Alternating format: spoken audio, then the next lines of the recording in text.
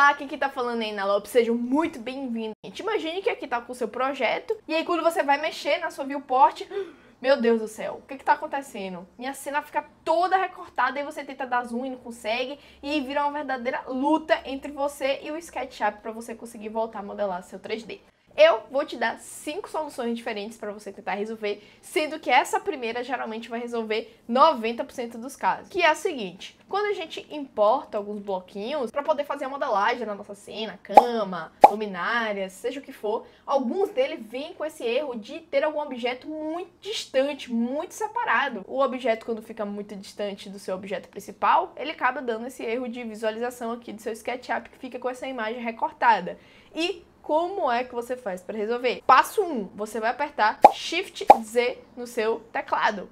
Meu Deus, Ina, e aí? Apertei e o que foi que aconteceu? Esse Shift Z ele serve para centralizar o objeto da sua cena. Então, se ele está centralizando nada, significa que existem objetos perdidos aqui na sua cena que você não consegue enxergar. E por conta disso é necessário você apagar. Então, seu segundo passo vai ser apertar o Ctrl A para poder você selecionar todos os objetos da sua cena. Porém, note, quando eu apertei aqui o Ctrl A, nosso objeto, nosso projeto, ele está aqui, ele foi selecionado também. Assim como qualquer outro objeto, ponto que esteja perdido aqui na nossa viewport do SketchUp. Mas a gente agora quer apagar apenas os pontinhos perdidos, os blocos perdidos que a gente portou aqui sem querer, e não o nosso projeto. Então, uma vez que você apertou o Shift Z, depois você apertou o Ctrl A, seu próximo passo é apertar a letra Shift do seu teclado. Quando você fizer isso, ó, você vai notar que vai aparecer o mais e o menos. Logo em seguida, você vai dar um clique no mouse dentro da sua viewport, mantendo o Shift apertado, tá?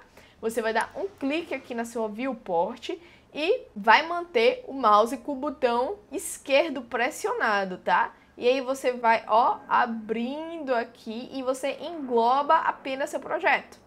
Clicou aqui, você viu que o seu projeto ele foi desselecionado. Ou seja, todos os pontilhados que estão soltos aí no seu projeto, eles foram selecionados, menos o seu projeto.